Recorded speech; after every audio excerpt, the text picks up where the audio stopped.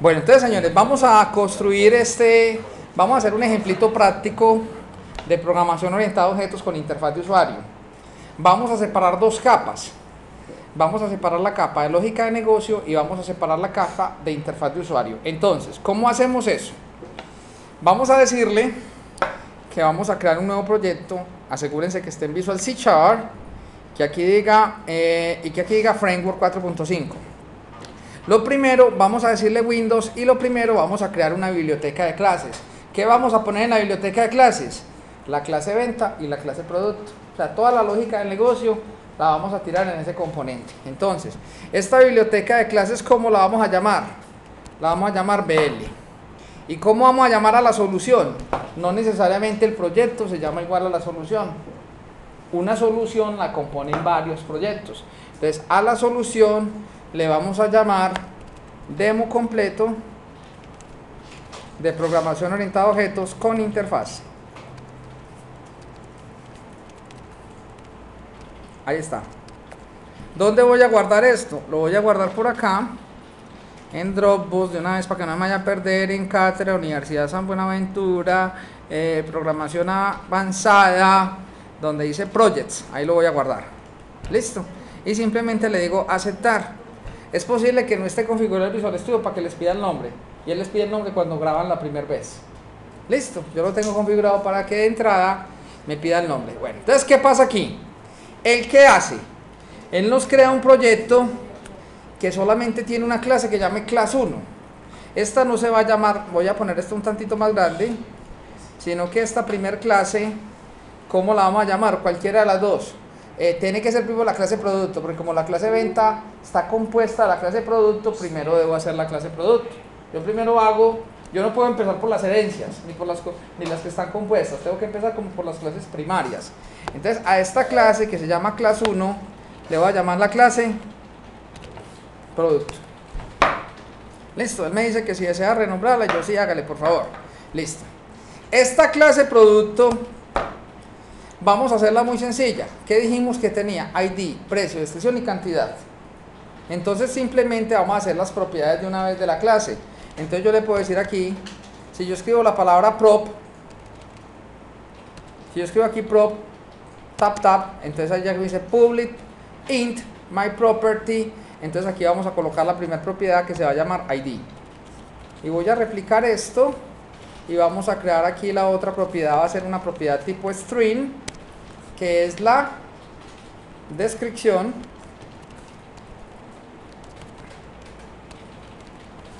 La otra propiedad va a ser el precio que el precio lo definimos de tipo decimal. Y le colocamos precio. Y la otra propiedad es la cantidad. Y la cantidad creo que nos va bien con un float listo, sencillo esa es la forma más sencilla de hacer una clase estamos empaquetando la clase por defecto nos genera un constructor vacío, ¿cierto? Entonces vamos a dejarla así. Listo la clase producto. Muy difícil. Tarán. A esta capa de lógica de negocios vamos a agregarle otra clase. Entonces aquí en dice Business Logic vamos a decirle agregar clase y a la clase ¿qué le vamos a agregar? Ahora vamos a crear la clase venta. Entonces aquí vamos a decirle que vamos a crear una clase y esta otra clase ya se llama la clase venta. Agregar.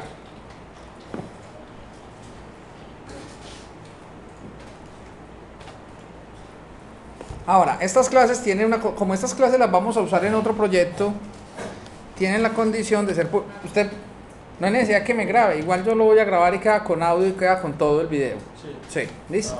Entonces aquí le decimos public class venta y aquí a la venta, ¿qué le vamos a definir? Esta propiedad, esta clase, si hagamos la más elaboradita, vamos a decirle que la clase venta tiene un atributo privado que va a ser el cliente. Entonces vamos a decir private screen, a qué cliente le vamos a hacer la venta. Vamos a definir también un atributo privado que va a ser de tipo daytime, que va a ser que la fecha de la venta. Y vamos a definir un atributo privado que va a ser una lista ¿De qué? De la clase producto. ¿Y cómo vamos a llamar al atributo? Lo vamos a llamar productos. Ahora creémosle un constructor a la clase venta. Para crearle un constructor a la clase venta le decimos public venta y le pasamos los atributos que va a llevar el constructor. Y para los atributos de este constructor solamente le voy a decir que una venta se la voy a cargar a un cliente. Cuando digo nueva venta, simplemente le digo a qué cliente le voy a hacer la venta. Entonces le digo que al atributo cliente le voy a llevar el cliente que nos pasaron como parámetro. Vamos a decirle que al atributo fecha, ¿qué le llevamos a fecha? La fecha del sistema, eso no lo tenemos que pedir al usuario. Cada que yo haga una venta, capturemos la fecha del sistema. ¿Cómo se captura la fecha del sistema? Yo le puedo decir datetime.now. Yo le digo datetime.now, él devuelve la fecha con horas, minutos, segundos y milisegundos. En el momento en que ¡pa! Creamos una nueva venta. Y cuando empezamos una venta, ¿cuántos productos tenemos? No tenemos productos. Entonces digámosle que mis productos es igual a una nueva lista de productos. Entonces cuando yo le digo una nueva lista de productos, ¿qué significa? ¿Cuántos productos tengo ahí en ese momento? Nada. Y eso es un constructor. ¿Qué es un constructor? Define las condiciones iniciales del objeto. ¿Qué condiciones iniciales tiene un objeto? Venta. ¿A qué cliente la estamos haciendo? La fecha, agarro la fecha del sistema. ¿Y productos? No, no hay productos. Tarán. Ese es el constructor. Ahora, si yo quiero hacer esto, ¿qué vamos a hacer? Vamos también a colocarle un método público que me permita adicionar productos a la venta. Sí, señor. Claro, cuando nosotros le decimos dis productos, ¿qué significa? A este atributo, que es un atributo de la clase productos, ¿qué le estamos llevando? Una nueva lista de productos. Cuando le digo nueva lista de productos, ¿es qué? Que empecé con cero productos. Una venta nueva, ¿cuántos productos nuevos? Cero. Cuando yo no he pasado ningún producto por la caja registradora, tengo cero productos. ¿Tiene o no tiene sentido eso? Ahora, cuando la cajera me pase el primer registro, o sea, digite el, el botón agregar, ¿qué vamos a hacer? Vamos a mostrar el primer producto. Entonces, vamos a agregar el primer producto. Entonces, vamos a decirle aquí, vamos a crear un método público que no nos devuelva nada y el método se va a llamar agregar producto. ¿Sí o qué? El método agregar producto, ¿qué parámetros le debo pasar? Cuando yo voy a agregar un producto, ¿qué parámetro le paso? Un producto. Entonces vamos a decirle que para agregar un producto de la clase producto vamos a pasarle un producto. ¿Cuál es la diferencia entre producto y producto? Que uno aparece como en verdecito y el otro en negro. El primero es el listo. El primero, no, no es la clase. Aquí no hay list. El primero es la clase producto y el segundo es un objeto de la clase producto. Ahora, vea cómo es de difícil agregar un producto. ¿Cómo se llama la lista de productos? Productos. Entonces vamos a decirle productos y productos tiene un método que es heredado por ser un list. Si yo le digo punto, él me muestra todos los métodos que hay. ¿Y con cuál método de estos creen ustedes que adiciono yo? Add. ¿Qué significa add? Adicionar. Éxito. Este man sí el cursito de inglés en línea. Entonces le decimos adicionar y le decimos adicionar qué? Un producto. A la lista de productos, ¿qué le estamos diciendo? Agregar un producto. Ahora, cuando la cajera diga pagar, ¿qué le tenemos que mostrar al usuario? El, el total. ¿Sí o qué? El cajero va a decir, ve, ¿cuánto es el total de la cuenta? Ahora vamos a hacer una cosa aquí en la clase producto. Resulta que yo tengo, no todos los atributos míos son atributos, yo puedo crear atributos calculados. Me explico. Una cosa es el precio. Precio. ¿Cuánto vale el agua? 1500. ¿Cuántas, ¿Cuántas aguas va a llevar? 10. ¿Cuánto tiene que pagar? 15.000. ¿Sí o qué? Entonces vamos a crear otro atributo que es de tipo pu- otro atributo público que va a ser de tipo decimal y este atributo lo vamos a llamar valor. ¿Qué es valor? la multiplicación, ¿sí o qué? Va a ser la multiplicación del precio por la cantidad. Entonces, como es una multiplicación, yo no le voy a definir método set. Porque set es cuando yo lo establezco. Yo necesito es el get, que me devuelva el valor. Entonces vamos a decirle aquí get. Y el get, ¿cómo lo vamos a definir? El get lo vamos a definir así. Que me retorne el precio por la cantidad. Entonces si observan, aquí tenemos un atributo muy especial que es un atributo calculado, un atributo de lectura. Ahora, ¿por qué saca error? Saca error porque yo no puedo multiplicar un float con un decimal. Vea, si yo... Eso, hay que ponerle, ¿cómo se llama cosita?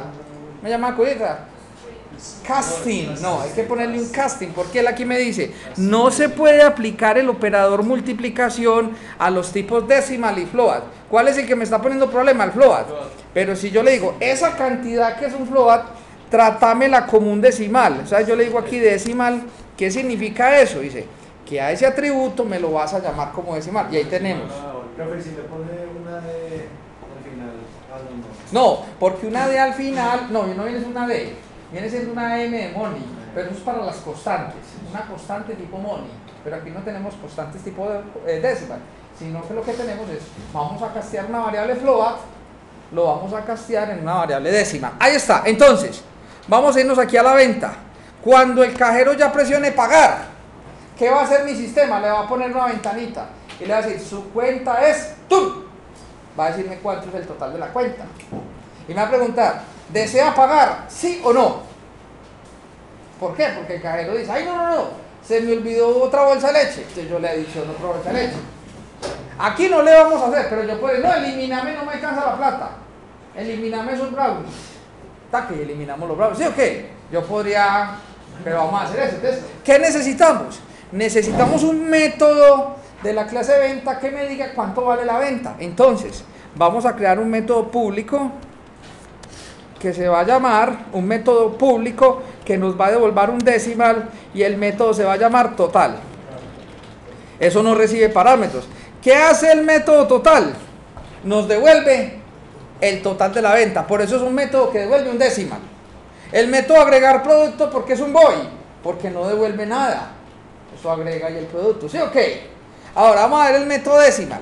Entonces, para yo saber, cuando me digan total, cuántos productos ha agregado la cajera. No sabemos.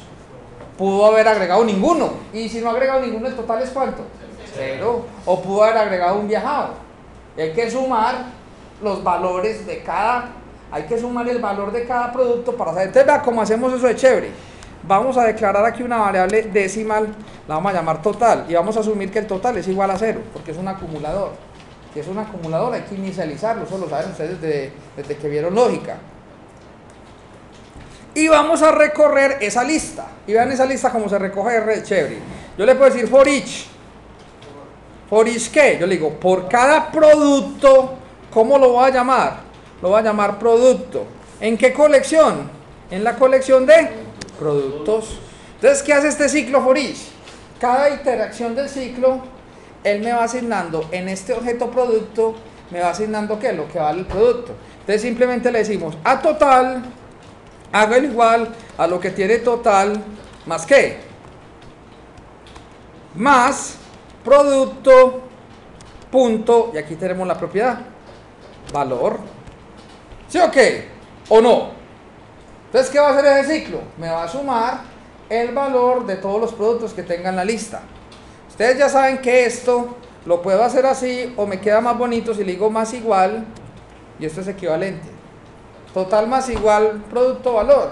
Significa que al total llévele lo que tiene el total más el valor de cada producto. Y al final, ¿qué le vamos a decir? Y al final simplemente le vamos a decir eh, return total. ¿Por qué return total? En la variable total queda la acumulación de la venta de los productos. Y listo, señores, estarán. Esta es toda la lógica que tenemos. A diferencia que esta es una lógica totalmente objetual. Ve que aquí no estamos pensando en programación estructurada, pensamos en objetos. Tanto pensamos en objetos que aquí tenemos un método que nos recibe como parámetro un objeto. Hasta ahí está entendida la cosa, al menos conceptualmente. Es que si no le ponemos una interfaz de usuario, esto no nos va, como que no va a tener forma. Ahora vamos para la interfaz de usuario y ven cómo es de chévere. Aquí tengo el explorador de proyectos. Tenemos el, la lógica de negocio. ¿Qué vamos a hacer? Vamos a decirle, aquí donde dice solución, un proyecto, le vamos a decir clic derecho, le vamos a decir agregar un nuevo proyecto. Es posible en algunos ambientes que no les aparezca la palabra solución, sino que de una vez les aparezca BL. Eso es configuración. Si ese es su caso, no se corte las venas. Usted le puede decir por aquí en archivo, le dice agregar y aquí le va a decir nuevo proyecto. Y el nuevo proyecto va a ser qué? La interfaz de usuario. Y vamos a empezar con una interfaz de usuario Windows. Yo la podría hacer para un dispositivo móvil, la podría hacer una interfaz de usuario web. A mí no me importa. La interfaz de usuario va a usar qué? Esa lógica de negocio que tenemos en esas clases. ¿Cómo vamos a llamar a la interfaz de usuario? Va a ser, vamos a asegurarnos que diga C Chart, que diga Framework 4.5, que diga Windows y que diga aplicación de Windows Forms. ¿Cómo le vamos a llamar a esto? A esta aplicación le vamos a llamar GUI. ¿Por qué GUI? Porque es nuestra interfaz de usuarios. Entonces, si observáis, ya la solución tiene dos proyectos. El proyecto BL, que es donde tenemos la lógica de negocio, y el proyecto GUI, que es donde tenemos las, donde vamos a tener la interacción con el usuario. Y la interacción con el usuario es que va a ser una, esta ventanita, la voy a poner aquí más grandecita. Esta ventanita, bueno, para que el proyecto GUI pueda usar las clases BL nos toca hacer una cosita. Y es decirle aquí en referencias, clic derecho, nos toca decirle agregar referencia. Y cuando le digamos agregar referencia, le decimos de proyectos y él aquí me identifica. ¿Qué le estamos diciendo aquí? Que el proyecto GUI va a usar las clases que hay donde? En el paquete BL, que es la lógica de negocio. Claro, vea, míralo acá. La solución tiene dos proyectos, el proyecto BL y el proyecto GUI. Si observan, el proyecto BL está en negrita. Eso también hay que cambiarlo. ¿Qué significa? Que este es el proyecto de inicio. Ese no puede ser el proyecto de inicio porque ese proyecto no tiene interfaz de usuario. Vamos a decirle que el proyecto de inicio es GUI. ¿Cómo hacemos eso? Fácil. Le das clic derecho en GUI y ya le dices establecer como proyecto de inicio. Usted ve que ya te queda GUI como en negrito. ¿Qué significa eso? Que si yo corro el proyecto, ¿qué me va a correr? Me va a pintar esa ventanita. Esto fue lo que hizo. Ahí es donde vamos a hacer nuestra ventanita de venta. Listo, vamos a cerrarla nuevamente. Ahora, para que el proyecto, aunque los dos proyectos pertenecen a la misma solución, no significa que yo pueda usar ese proyecto. ¿Qué lomo le tenemos que decir? Dentro del proyecto BL, ¿qué vamos a decirle? Vamos a decirle aquí al BL, vamos a decirle al proyecto GUI, perdón, en reference, clic derecho, le decimos agregar referencia y él aquí le marcamos que es una referencia de proyectos y que se llama BL. Aceptar. Al hacer esto, ¿qué significa? No tienes que marcar eso en proyectos. ¿Qué significa? Que este proyecto GUI puede usar las clases que hay en el proyecto BL. Eso es todo. ¿Listo? Bueno, ahora sí. Entonces vamos a muñequear aquí.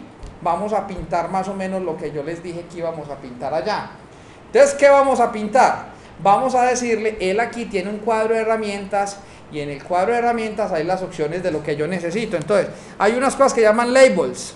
Los labels es que para pintar información. Entonces yo le digo label y hay otra cosa, tengo que mirar las propiedades de ese label. Entonces si le doy clic derecho, te activas aquí el cuadro de herramientas, arrastras el label, lo pones donde lo deseas y vamos a darle clic derecho y luego que le demos el clic derecho vamos a decirle eh, propiedades y voy a anclar aquí la ventanita de propiedades para que no esté desapareciéndome que la necesito anclada.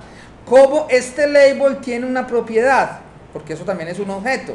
Y esta propiedad, ¿cómo le vamos a poner en su propiedad text? Le vamos a poner cliente. Dos puntos. Y ahí nos queda cliente.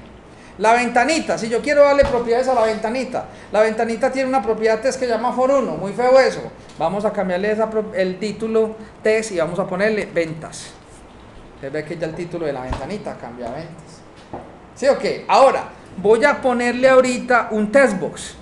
Voy a arrastrar aquí el testbox y lo voy a arrastrar acá. Y voy a poner ese testbox un tantito más grande. Ahí está. Y este ley, este text, ¿qué propiedad le vamos a poner? Él se llama testboss 1. Vamos a ponerle como nombre